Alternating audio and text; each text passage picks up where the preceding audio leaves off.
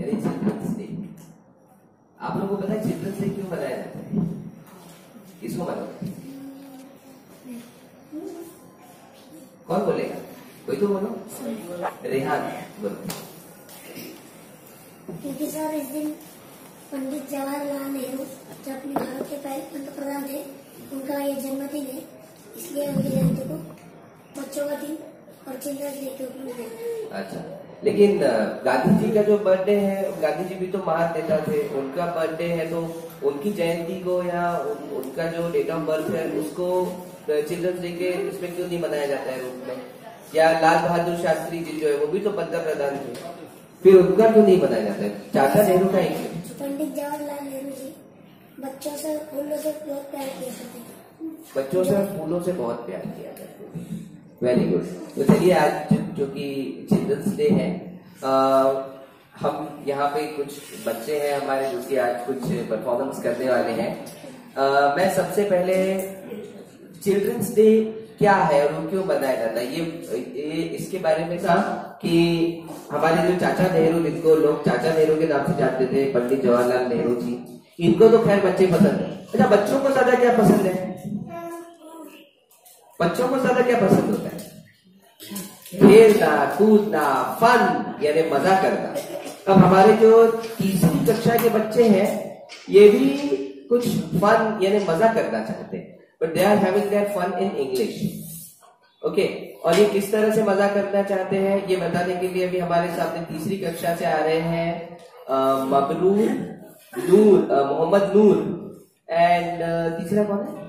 Arman. 家里边的玩家。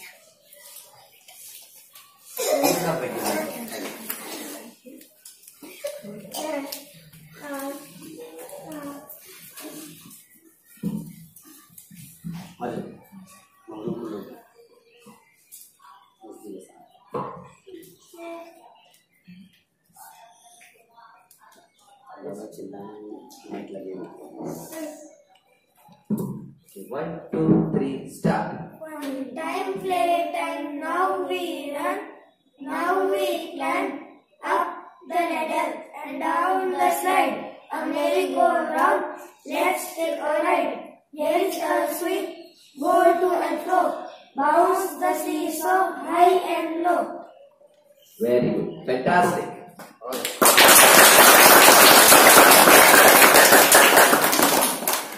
तो दोस्तों ये जो पोयम आपको सुना है इसमें ये जो बच्चे हैं ये कहाँ पे खेल रहे थे पता है आपको? Garden में। गार्डन में खेल रहे थे।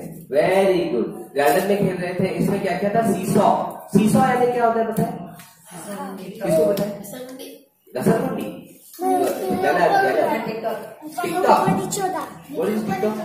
ऊपर नीचे होता। है वो। वेरी गुड और स्लाइड यानी क्या है जिसके ऊपर से फिसलते हैं, फिसलते हैं क्या? ओके और स्विंग यानी क्या? स्विंग तैरना। गलत गार्डन में स्विमिंग पूल होता है। स्विमिंग नहीं बोला मैं स्विंग बोला स्विंग हवा में स्विंग करना। हवा में स्विंग करना। झूला झूला स्विंग यानी होता है झूला झूलना। ओके चलिए आप हमारे सातवीं कक्षा के एक छात्र है जो बाल दिवस पर आपको एक कविता सुनाने वाले हैं। तो चलिए उन, उनकी कविता सुनते हैं उन्हीं की जबानी। उसामा उसामा।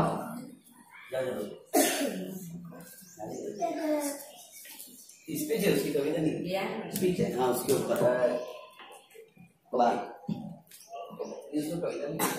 ओके फाइन उसामा जो है आपके सामने एक स्पीच पेश करना चाहते हैं।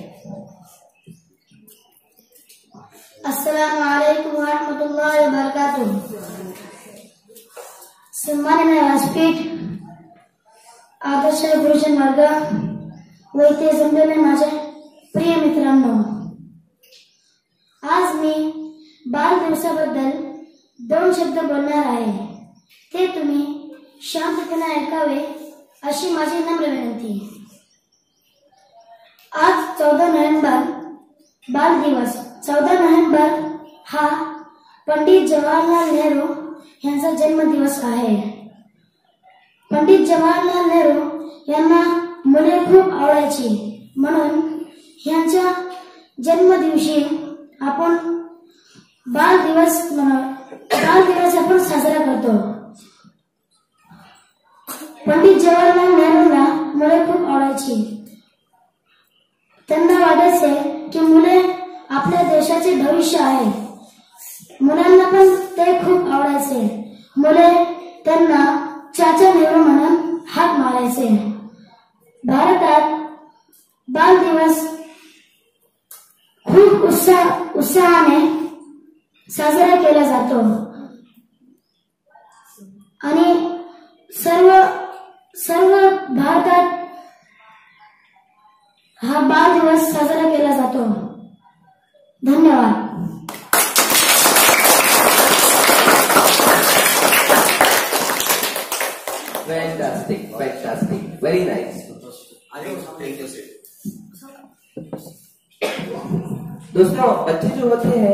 ये एक चीज़ हमेशा करते हैं। वो होता है ऑब्जर्वेशन ऑब्जर्वेशन यानी किसी चीज़ को देखना और उस चीज़ को देखकर उसको, उसका निरीक्षण करना, उसको परखना, ये क्या चीज़ है? ये क्या हो रहा है? मेरे आसपास जो हो रहा है, क्यों हो रहा है? और उससे बच्चे जो है, बहुत सारी चीज़ें सीखते हैं। हम लोगों को कैसा बहुत सारी चीज़ें सिखानी पड़ती है, बतानी पड़ती है। बट एक बच्चा अगर आज की डेट में मोबाइल चला ले रहा है तो किस वजह से? तो देखता है अपने अब्बू मोबाइल को कैसे चला रहे हैं? कहाँ पे टच कर रहे हैं? तब कौन सा फ़ोटो आ रहा? कहाँ पे टच कर रहे हैं? तब क्या बज रहा है? तो ऐसा करके बच्चा ऑब्जर्वेशन करता है। हमारे सातवीं कक्षा के एक नंधे मुंधे और चुलबुले जो तालिब इल्म है, वो क्या ऑब्ज़र्व कर रहे हैं पता है आप लोगों को? वो एक बिल्ली के बच्चे को ऑब्ज़र्व कर रहे हैं। एक बिल्ली के बच्चे में उसको बहुत सारी ऐसी चीज़ें दिखाई दे रही है जो कि बहुत मज़ेदार है। बराबर एक छोटा सा बिल्ली का बच्चा। बराबर।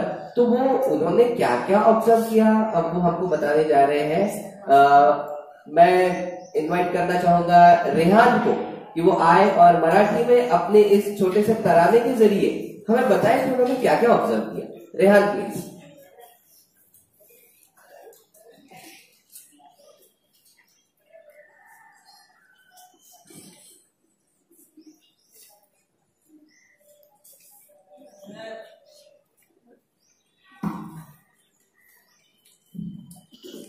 अस्सलाम वालेकुम वरहमतुल्लाहि बरकातहू छान छान छान ननी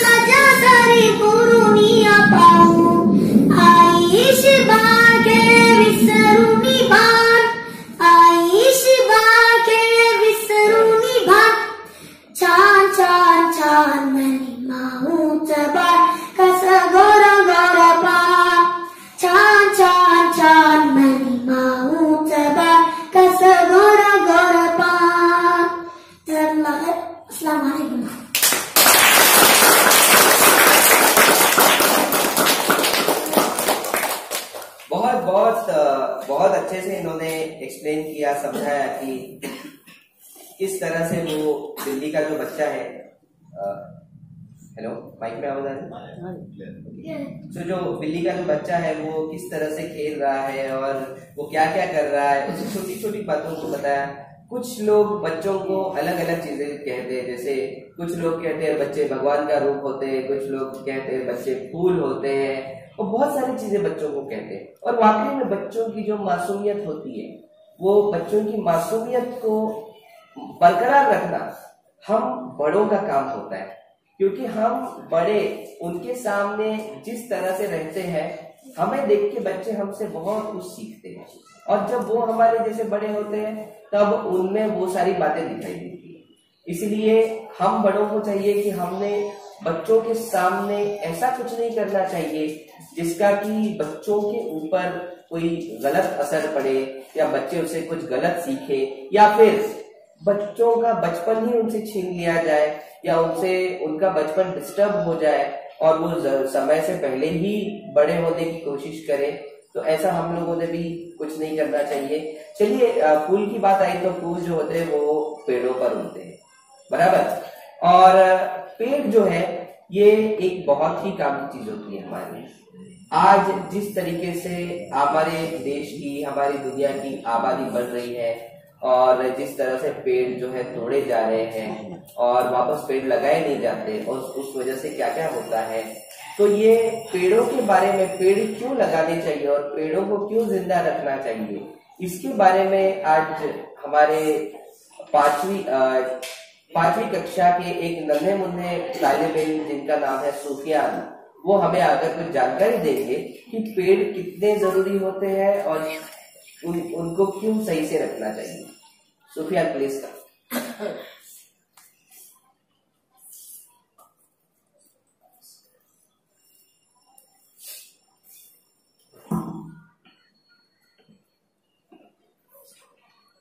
असलकम वरहमतुल्लाहि वबरकातुह। इथे जमलेले सर्व मंडळीचे मी मनापूर्वक स्वागत करतो. माझं नाव सुफियान शेख. मी एकदा पाचवी शिकतो. आज मी तुमच्यासमोर झाडे लावा झाडे जगवा. या विषयावर माझे काही विचार मांडणार आहे? ते आपण सर्वांनी लक्षपूर्वक ऐकावे अशी माझी नम्र विनंती. झाडे हा निसर्गातील एक अत्यंत महत्त्वाचा घटक आहे. सर्व सजीव सजीवांचे जीवन झाडांवरच अवलंबून असतात. झाडापासून आपल्याला माणसाला लागणारा प्राणवायू अन्न माणसाला लागणारे कपडे इत्यादी ह्या सर्व इत्यादी गोष्ट आपल्याला झाडापासून मिळतात. झाडापासून फळे फुले व लाकूड मिळतात. तसेच जमिनीची धूप थांबते. झाडामुळे ढगाळाहून पाऊस पडते. जरा विचार करा. झाडे नसली तर काय होईल बरे? झाडे नसली तर सर्व सजी सजीव सृष्टी नष्ट होईल. सर्व सजीवांचा नाश होईल. झाडे नसली तर आपल्याला अन्न मिळणार नाही पाणी मिळणार नाही. पाणी मिळणार नाही. आपण सोडलेला कार्बन डायऑक्साईड वायू कोण शोषून घेईल बाई? यापासूनच आपल्याला समजते. झाडाचे आपल्या जीवनात फार मोठे महत्व आहे. आपल्याच नाही सर्व सजीवांचे जीवनात झाडाचे फार मोठे महत्व आहे. त्यामुळे विश्वहिताचा एकच एकच मंत्र, झाडे लावा, झाडे जगवा. धन्यवाद.